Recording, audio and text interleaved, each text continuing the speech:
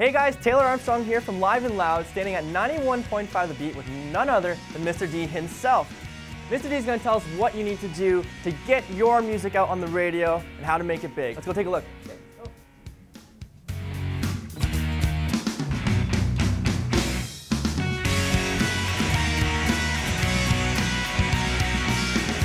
The handle is Mr. D, and I'm the music director and evening show host at 91.5 The Beat. I'm pretty much in charge of the playlist. So the stuff that you hear, the big acts like the will.i.ams, the Jay-Z's, the Britney Spears of the world, um, we play them for the audience here in the region in Kitchener, Waterloo, Cambridge. Describe 91.5 The Beat in one word. Wow. um, damn, that's a good one. I would call it a firework. Firework. A firework.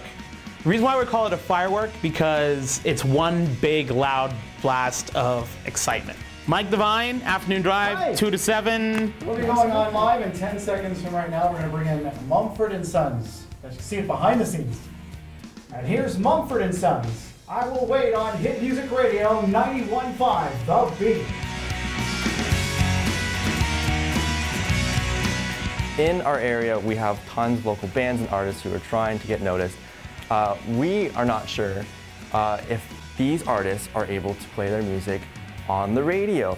Do you guys have any certain programs that allow people to play their music? We used to have a program called Exposure, which we ran several years ago, and music in the region and in Canada has evolved so much that there are some artists out there whose stuff is so good and so strong that they don't even know uh, that they can get radio play. But a lot of artists just don't know how to submit songs to radio stations properly or do videos and whatnot. It's not quite where I can just take a, a, a, CD from a band and say, hey, can you play this on the radio? There's a mm-hmm. certain process that the artist has to do and or their management and doing it independently, it's, it's a little bit harder, but it can be done.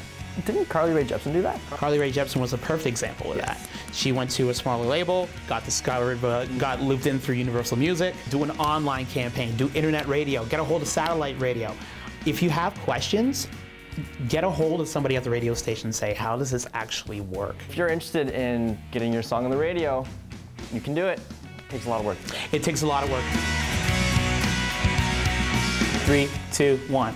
Hey, what's up? It's Mr. D from 91.5 The Beat, and you're watching Live and Loud.